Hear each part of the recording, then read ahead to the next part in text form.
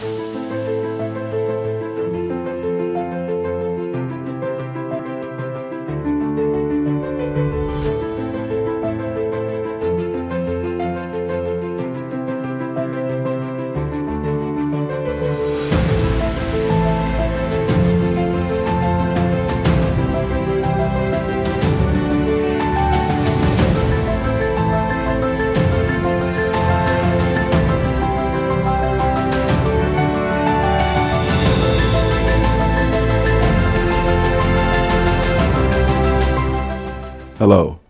I'm Dr. Stephen Everett, and along with my wife, Michelle Everett, we are the host of God's Kingdom, where we discover in the Word of God that we are a chosen generation, a holy nation, a kingdom of priests, and a special treasure unto our God.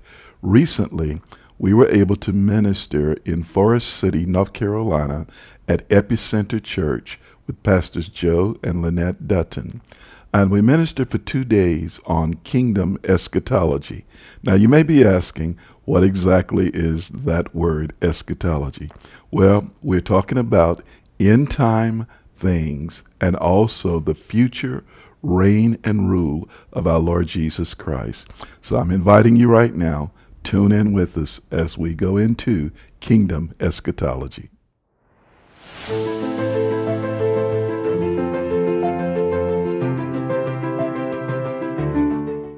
And you see here that Daniel places a premium on reading Jeremiah. And the Holy Ghost at this time unlocks something for him. Because if he hadn't been reading, do you think the Holy Ghost, other than just a supernatural endowment, would have had anything to work with? You're afraid to answer that question, aren't you? no, see, you got to give God something to work with. That's why the Bible tells us study. To show thyself what? Approved. Get into the Word. Get into the Word. We see Him in the Word here. So, whatever comes forth, we're going to see connected to the Word. What did Jeremiah say that he had discovered? That there would be an accomplishment of 70 years in the desolations of Jerusalem. Did that happen? When did Jeremiah say this? You see, you could go back actually and look at the beginning of this in Jeremiah chapter 25, verse 11 through 14. You see the reasoning behind this, these 70 years. They have been disobedient, they have been non compliant. The Lord has spoken to them, said, Listen, you're going to have to not only hear my voice, but you're going to have to keep my commandments. That's going to be the thing that's going to stabilize you in the land. You read through much of the Old Testament history, and you'll find out that they were anything but that. They were non compliant. They, they refused many times, even after hearing his voice, to be obedient to that voice, and it ultimately cost them. All right? So you see that in Jeremiah chapter 25, verse 11 through 14. And then it's repeated again in Jeremiah chapter 29, verse 10 through 14. And, and I want you to grab that one because that, that really is a good one. And within this particular passage, there's a scripture that's quoted real often in the modern church. But see what Jeremiah said in chapter 29, verse 10. He said, For thus saith the Lord, that after 70 years be accomplished at Babylon, I will visit you. So notice the premise of this is that they're in captivity. He said, I will perform my good word toward you in causing you to return to this place. And then this is where contextually verse 11 fits. For I know the thoughts that I think toward you, saith the Lord, thoughts of peace and not of evil, to give you an expected end. And we sing that song. How often do we connect it to people coming out of captivity?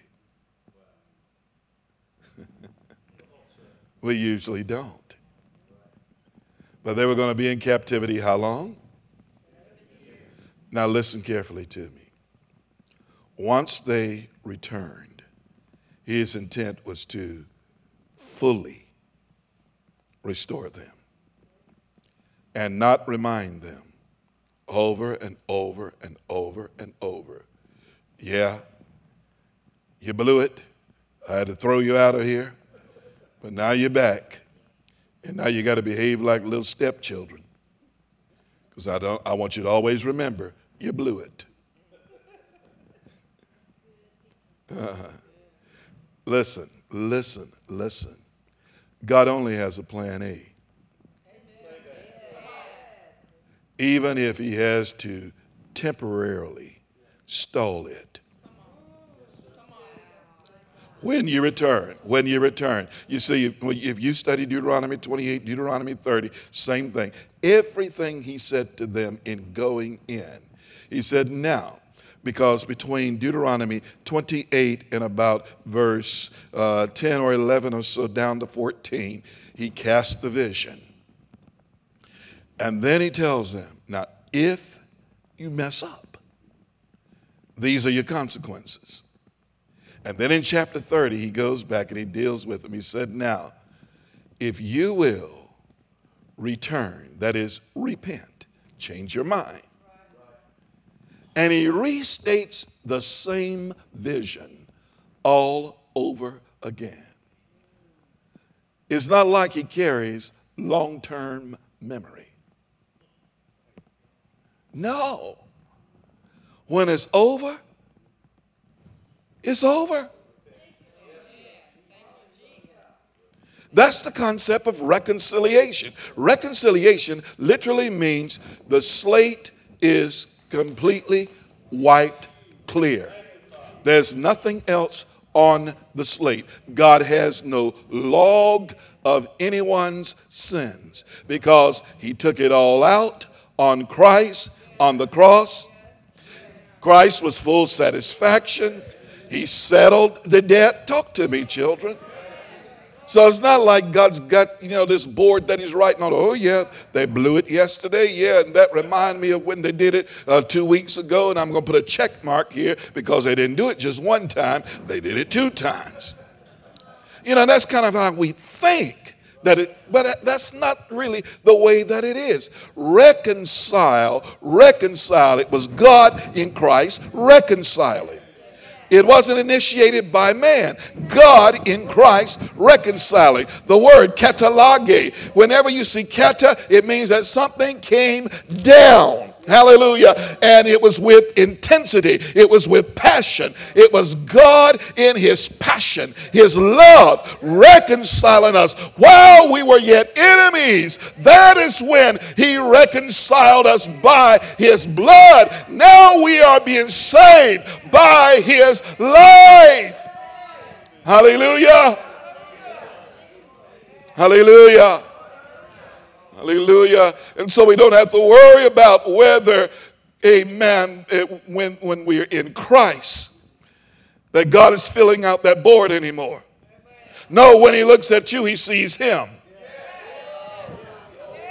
You know, even when, when the sacrifice was brought to the priest and presented by a person that had trespassed or sinned, the priest would take the sacrifice and he no longer looked at the person that brought the sacrifice, he just examined the sacrifice because the sacrifice stood for the person. So the sacrifice, in a sense, was substitutionary at that point, and it carried everything that the presenter had done. That's what Christ did for us. He was the substitution. He carried everything that humanity had done. And God no longer was judging or praising humanity, but He looked at Christ. Christ. Hallelujah. Hebrews tells us that all things, when you look at it, it, the picture here is the, the priest, and it said that basically the sacrifice was opened up from head all the way down. Then examine. And if there were no flaws, if there were no flaws, then it's an acceptable sacrifice. Well, when God opened him up through crucifixion, he couldn't find any flaws.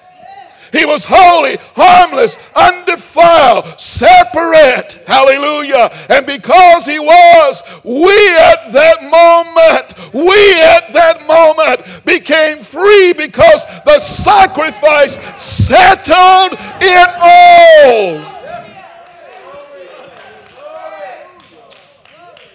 And you see pictures of this in ideas like when you return. what I had as plan A is still intact.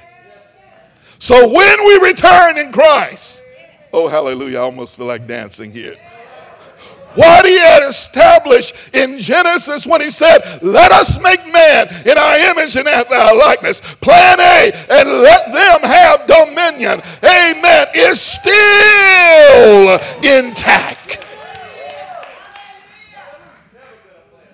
Still intact.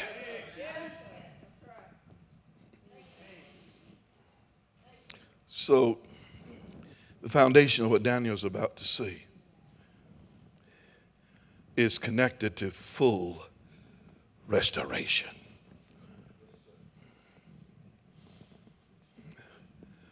Now go to verse 24 because between his discovery here in verse 2 and to verse 24, he's a man that identifies with the people. And though he's a righteous man, we know that Daniel's a godly, righteous man. But yet he identifies with what has happened to his people. He doesn't set himself up above the people. He doesn't behave as though he's holy, more holy than they, more righteous than they. He identifies with them. And this is really a messianic principle in many ways, a kinsman redeemer principle. You redeem because you're kin. And what he says, more or less, when he's done with his praying, in verse 24, it said, 70 weeks are determined upon thy people. Now, I want you to remember the premise for all that's about to go on was the basis of the 70 years because the number 70 is prominent here.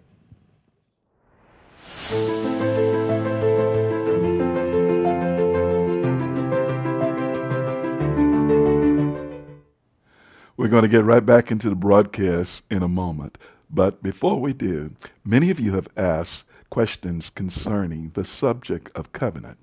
Well, we have a resource that we believe will be helpful. It's entitled the Dynamic Covenant Series. And what it is, is a seven volume series of many books in which no book is larger than 65 pages. So that's going to be easy reading. Now you can go to the website and pick up the set of books there, drstepheneverett.org, and we believe that they'll be helpful. Now, let's get back into the broadcast. Keep in mind 70. He says 70 weeks are determined, that is cut out upon thy people and upon thy holy city. When we taught school, we taught children, first and foremost, get the context of what you're reading. Get the context. Who's it talking about? What is it talking about? there's a where, why, and when, answer those questions. So I'll ask you the question Who is this talking about? When it speaks to Daniel and it says, Thy people, who is it talking about? The children of Israel who are currently in captivity. Now, I want to tell you something. That was not you. All right? It's just like in Matthew 16, after this marvelous revelation of the church. And then before Matthew 17, Jesus says, Some of you who are standing here will not see death until you see the Son of Man coming in his glory. That was not you. you were not standing there listening to him talk at that moment. But there were those who were standing there listening to him. And we know that three of them saw exactly what he said the Son of Man coming in his glory. Because Matthew 17, the chapter on the transfiguration, proves exactly that. Because Peter later, when he was writing about it, 2 Peter chapter 1, he said, On that day, when we saw him on the holy mount, we beheld his coming and his glory, his majesty and his glory. Have you ever put it together? See, Peter was standing there that day. John was standing there that day. James was standing there that day. And they all saw it. The other nine, they were down to the bottom playing church. because they were down there trying to get a devil out of a boy that they didn't have the power to get the devil out.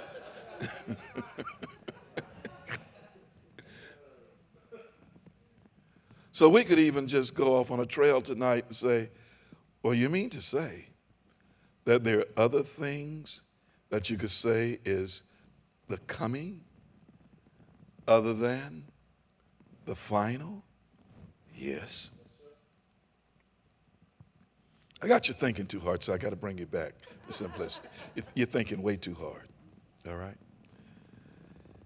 You see, the New Testament itself uses seven different words to describe coming, appearing, or presence of the Lord. Seven. Completeness. And so it's much larger than what we ever thought. But to make sure that we stay on track here, because I don't have time to hunt down a rabbit and kill him tonight. Who are we talking about here? Again, 70 weeks are determined upon thy people. Who are we talking about? All right. And they're in captivity. And then he said, and upon thy holy city who was the holy city. Okay, so we know then that the foundation for what is about to be said applies to Israel and Jerusalem. Now, from there, look at what he said. There's six things here. He said, This is what has been determined or cut out cut out for your people and for your city. Number one, the transgression is going to be finished. Number two, to make an end of sins. Number three, to make reconciliation for iniquity. If you want to know what the word iniquity means, it is lawlessness. Number four, to bring in everlasting righteousness. Now, I got to stop right there and ask you does that sound like an Antichrist to you? He said, This is cut out, Daniel, for your people and for your city. Number five is to seal up the vision of the prophecy. Number six, to anoint the most holy. Six things that has been determined, cut out. And then if if I look at each of these, you know what I can do?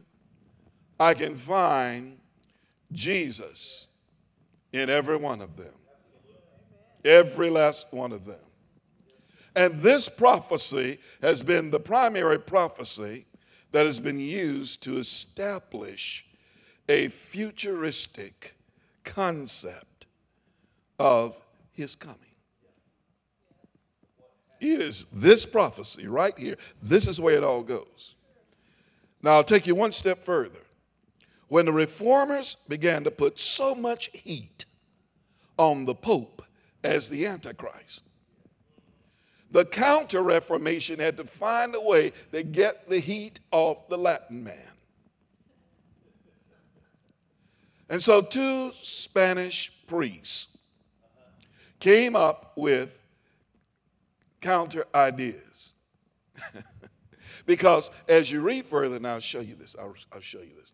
He said, Know therefore and understand that from the going forth of the commandment to restore and to build Jerusalem unto the Messiah the Prince shall be seven weeks and three score and two weeks. You add seven, three score, which is 60 and two, you got 69. And you will find that when you look at the commandment to rebuild, and then by the time the Messiah is declared, we're looking at 483 years, 69 weeks of years. Okay? All right, let's go further. He said, Here now, watch what happens when they start to restore. The street shall be built again, and the wall even in troublous times. Read the book of Nehemiah, chapter 2, and you will see that there was great trouble, great opposition, great persecution. It wasn't just one expedition back to the land. One was led by Ezra, one was led by Nehemiah, one was led, if you will, by Zerubbabel. It was at least three expeditions to come back. Are you with me here? And so there was much pressure from the outside for them to not restore the city. Uh, Ezra had the responsibility of the temple. Nehemiah, the walls. Okay. Zerubbabel became a governor. He was called a Tirshatha. That means governor. and so, what you have here in all of this is that God starts with restoration from the inside, and He moved out. It was the temple, and then He moved out to the walls. How did your restoration start? From the inside. Come on. Uh huh. And it's coming what? Okay. Yeah, yeah, yeah. That's why your walls shall be called salvation and your gates praise. You see, when you're talking about temple, in reference to our spirit, Paul said, Don't you realize that you are the temple of the living God? And that word wasn't the word that was used for outer temple, it was the word neos, which means inner temple. Don't you realize that's who you are? That's where your restoration began. Hallelujah. And it was done by a scribe, that is, someone that was able to write upon the tables of your heart and mind because that's where you place this covenant, this new covenant. Come on with me, children. Yeah, yeah. So, so it was trouble. So there's always persecution when that process starts. But thank God he's greater than the persecution. And the commandment that he's given will outlast the persecution. You may have Sanballats, Tobiahs, Arabians. You may have all of those threefold resisting you. But nevertheless, what God has given as a commandment is greater than the resistance. Thank you, Lord. Thank you, Lord. Thank you, Lord. All right, let, us go just a little bit further because I want, I want you to see something. He said, and so what will happen? He said, after three score and two weeks shall Messiah be cut off in connection with those seven, but not for himself.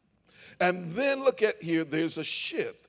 And the people of the prince shall come, shall destroy the city and the sanctuary. Who's he talking about? is he talking about this same Messiah that he was talking about a few minutes earlier? And the answer is it's twofold. Because Jesus said, Destroy this temple.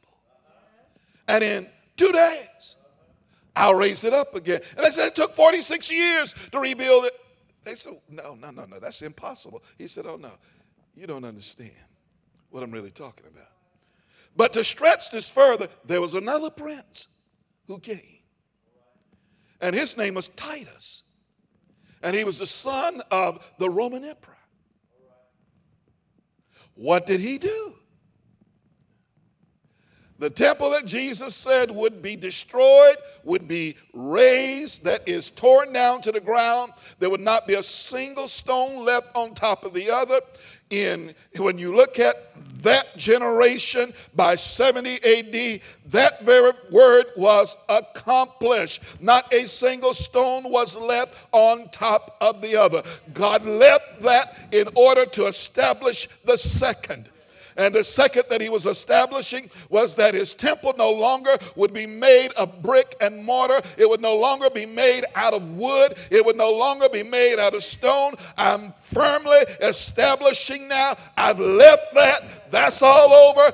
You have become the temple of the living God. Paul in Ephesians chapter 2, he said, Don't you realize that you are the temple? In fact, you are a growing temple. Every time somebody is born again, you become a lively stone. God adds one more stone to the temple. The purpose behind this is so that God can inhabit the temple by his spirit. He provides himself residence in the earth by living and abiding in the temple.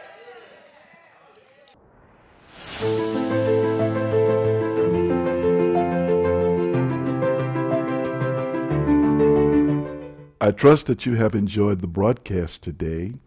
And we're going to get into this next week again on kingdom eschatology. So remember, the kingdom of God is at hand and it is within your reach.